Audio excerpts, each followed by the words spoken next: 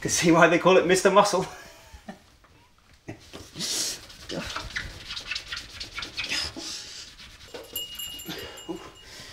Duty calls.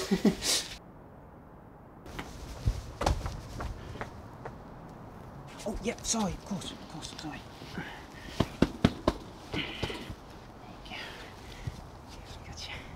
We've been together for, gosh, how long is it now? About nine years.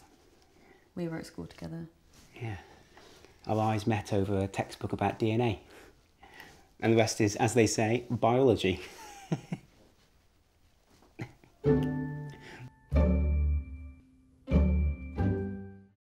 we had eight wonderful years together, um, right up until last January when uh, Gemma was first diagnosed. Yeah, it started with um, headaches and nausea. She had take some time off work. About 10 weeks, wasn't it? Yeah, Then eventually I saw the doctor and he said that I had 12 months to live. We couldn't believe what we were hearing, could we, babe? No. Well, actually, I didn't hear it. Uh, I wasn't in the room at the time. uh, Gemma wanted to be alone when uh, she was first diagnosed. Yeah, that's very important to me. Yeah. Gemma's actually kept all of her consultations totally private, um, but she tells me all about them afterwards. Mm, it's, it's, it's my coping mechanism. Yeah, the doctor said it's quite common for um, sufferers of mitolurgonitis. At least that's what he told Gemma. I've still not met him.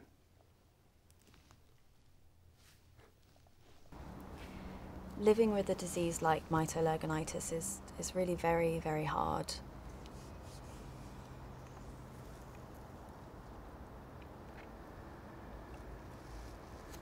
The problem is, is that sometimes I'm totally myself, I'm just normal, and then other days I'm in such agony and just so much pain that I can't move or, or do anything at all. There's no telling when it'll happen. Like, last month we were supposed to go see my parents for the weekend, and um, like just as we were about to leave, suddenly Gemma had an attack, and you know she couldn't move. Uh, in the end, she just had to stay at home in bed, and I went by myself. Um, you were gutted, weren't you? Gutted. I, I feel bad for Gemma, to be honest, because she's had to miss so much this year. Like, she's not been able to go to work. She's not been able to see my parents. She's not been to any of my poetry recitals. She hasn't even made one magic show. And as artist, oh my god, oh my god, Gemma, Gemma, Gemma, Gemma, Gemma, Gemma. Shh, hey, Gemma, Gemma, Gemma, you okay? You okay? Uh, you okay? Shh, come to me, come to me, come to me. Uh. She's having an attack. It's okay, don't worry. Come here, come here. Uh, you okay? You Must okay? have had one of my debilitating and very painful seizures. Can you just give me some space Yeah. because I can't breathe?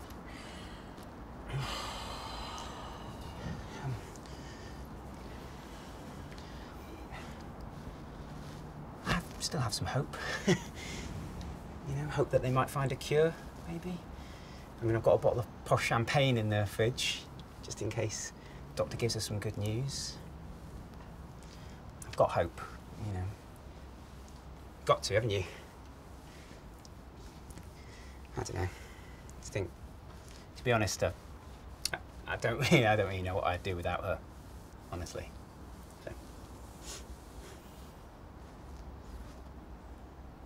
Could you get me another one of those, please? Could you do a little bit more ice this time? Oh, I see.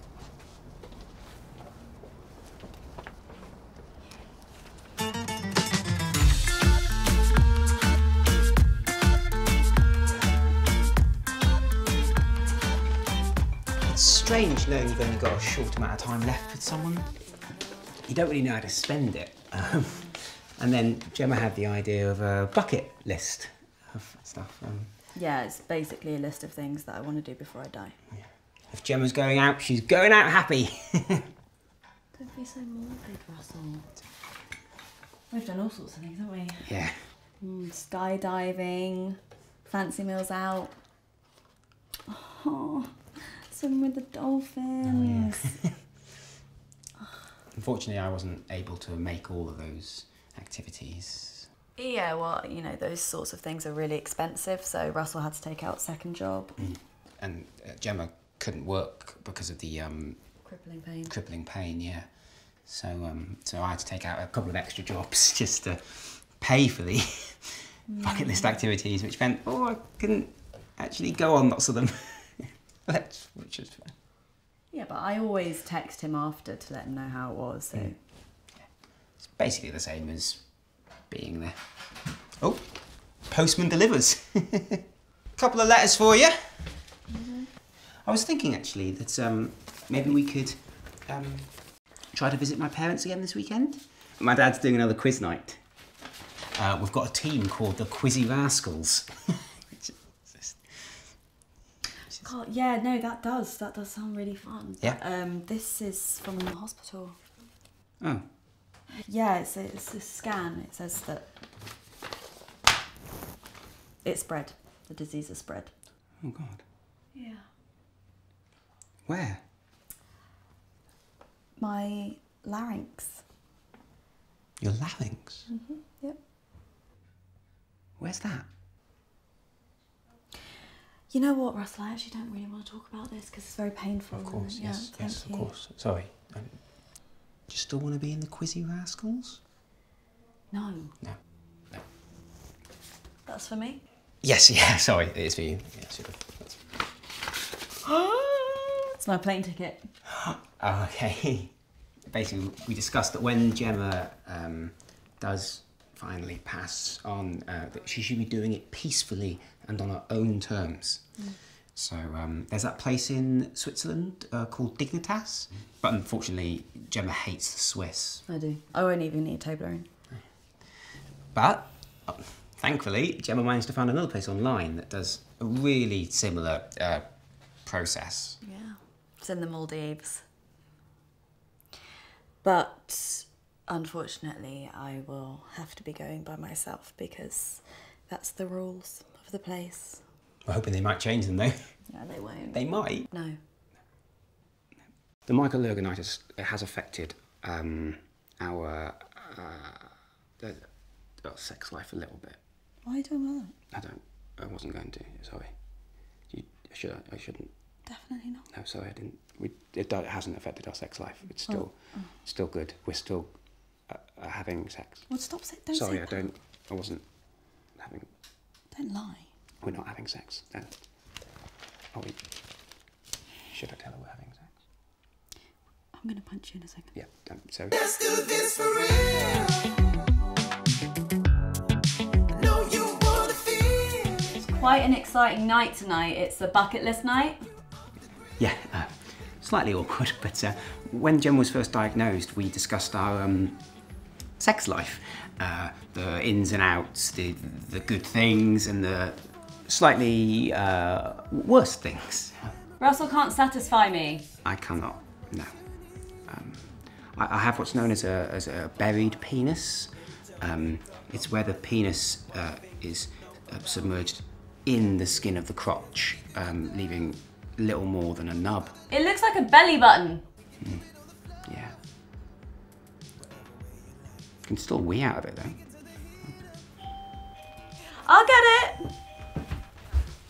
So yes, um, tonight's all about making sure Gemma meets her maker satisfied. Here he is, Hi. the big man. I want her standing in front of the pearly gates with a the glow on her face, so to speak. Should be quite a fun night actually. Uh, I've got a bottle of wine. Um, made some homemade chicken goujons. Oh, and a little batch of my famous guacamole. A little tip, um, if you want to stop it going brown, just pop an avocado stone in the bowl with the rest of the guac. That'll keep it nice and green.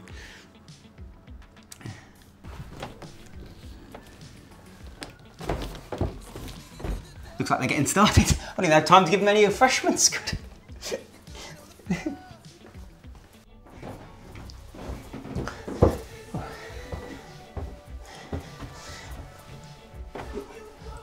Gemma? Gemma, the, the, the, the door's accidentally locked itself. Again. Ge- Gemma! Symptom of the mitral organitis. She probably can't hear me. Gemma. Ge- Gemma. Gemma. Relationships can be tough, you know. It's not like you see in the movies. I mean, sure, there could be love and romance, but they're also about looking after someone constantly because we're rare and incurable illness.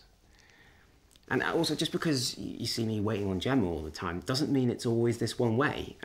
I mean, Gemma does loads of stuff for me, don't you, dear? Oh, yeah, yeah, loads. Loads. Do you want me to plump your pillow? Yes. What